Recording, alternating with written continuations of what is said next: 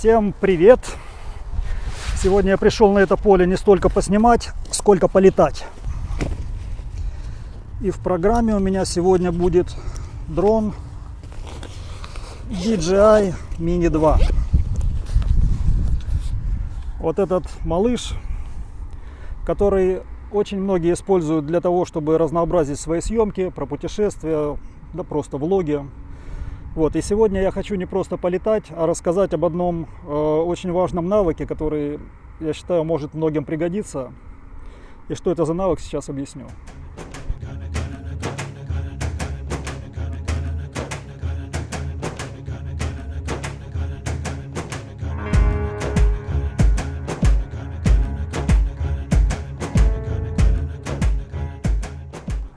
Вот, но что, будем взлетать. Я беру его в руки, свожу стики. Вот я включил запись на дроне. Дрон шумит мало, довольно беззвучный, маленький, компактный. В общем, всем он хорош, за исключением того, что нет у него функции сопровождения вот движущихся объектов. И если вы снимаете какие-то киношки про себя, про путешествия, то вам, конечно, хочется разнообразить картинку. Я вот могу себе, например, представить э, э, сценарий, когда вы на лодке или в байдарке плывете и хотите сделать красивый кадр с высоты, как, ну, как вы проходите там довольно длинное расстояние. Ну вот, вы прицелились, нажали на кнопочку записи и проплываете. По речке, проплываете, ну или на лодке, на катере, я не знаю, проплываете где-то на озере в дальнее расстояние, ну куда-то вдаль, да, Дальше вам надо садиться, и все хорошо, когда дрон визуально виден, когда вы хорошо владеете стиками, вы просто к себе там подлетели, да, сели, взяли его в руку и все, все как бы хорошо. Вот, но бывают случаи, когда э, вы уходите куда-то далеко, когда отвлекаетесь от управления стиками, вы просто не понимаете, где он есть. И прилететь визуально для себе, к себе, ну, довольно проблематично. Вот, и тут у нас вступает в действие э, хорошая штуковина, когда, которую DJI вкладывает во все свои дроны. Это автоматическая посадка.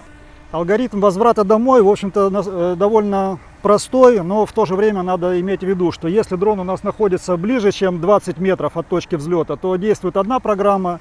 Если он находится дальше, чем 20 метров, то срабатывает другой алгоритм.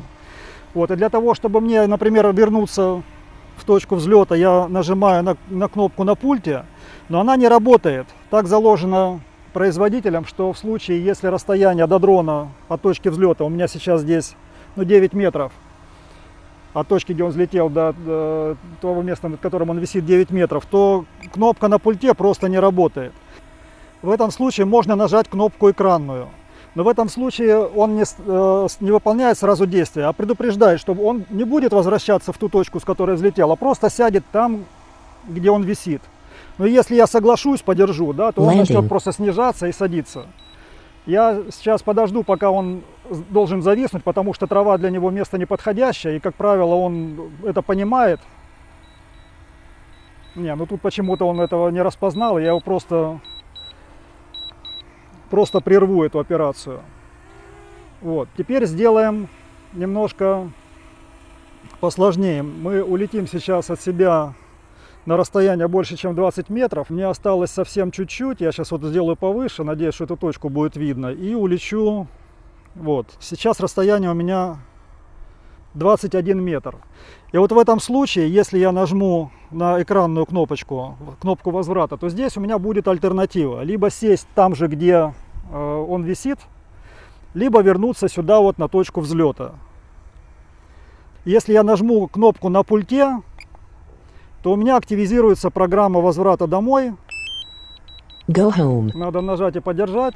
И тогда он взмывает вот на те самые метры, которые я там выставил в качестве минимальной высоты возврата.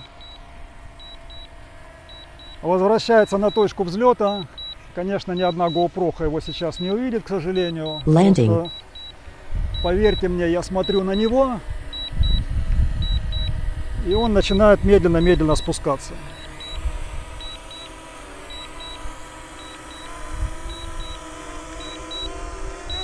Вот.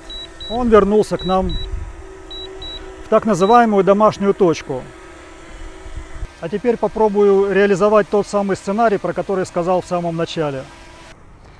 По сценарию мне надо пройти или проехать вдоль кромки этого поля и остановиться где-то там на его другом конце. После этого, чтобы не возвращаться сюда и не ловить дрон в домашней точке, я ну, либо могу попытаться привести его к себе визуально, либо понадеяться на автоматическую посадку, перед этим сменив домашнюю точку. Будем считать, что я или еду, или плыву. А еще я сейчас заберу свой съемочный аппарат, штатив. Вон там у меня остается висеть дрон. Через это поле я сейчас пройду и встану там в конце. Вот здесь я предварительно выставил GoPro, чтобы было видно, как дрон висит там в воздухе на фоне неба. Но я надеюсь, что его видно. Там черт его знает. Ну вот, сценарий вроде бы выполнен. Я пришел в другую точку. И для того, чтобы мне не идти, не ловить дрон там, я сейчас домашнюю точку свою поменяю. Для этого я вхожу в меню, нажимая в правом верхнем углу три точки. Нажимаю пунктик «Обновить домашнюю точку». И сейчас видим, что желтенький кружочек с буквой H, Home, домашняя точка, привязана к дрону. А мне нужно сделать домашней точкой ту точку, в которой я сейчас нахожусь. Поэтому я просто касаюсь изображения пульта. Видно, что домашняя точка перепрыгнула на точечку, которая изображает пульт. Нажимаю ОК.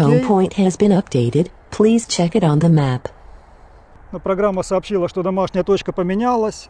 И теперь я просто нажимаю на менюшку автовозврата и говорю, что возвратись-ка ты, дрон, в домашнюю Go точку. home. Ну и вот и смотрим. Он бо- бодренько пошел наверх, достиг тех самых 15 метров, которые вот у меня здесь установлены.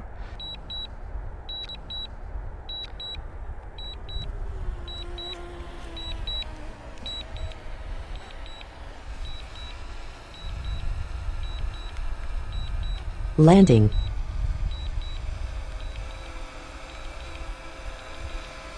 И вот он начинает возвращаться, то есть снижаться, ну почти там, где и должен бы.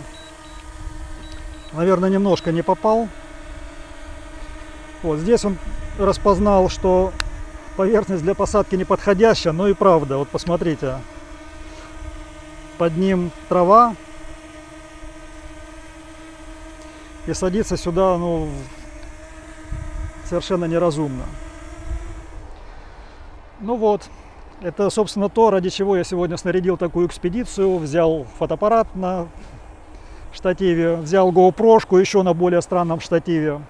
Вот, взял дрон, который сейчас как раз делает вот этот одно из э, автоматических своих выполняет одну из автоматических программ. Но если вы летаете вручную, то вам наверняка пригодится этот э, навык, вот, про который я сегодня рассказал. Смена домашней точки динамическая в процессе полета – это очень важно.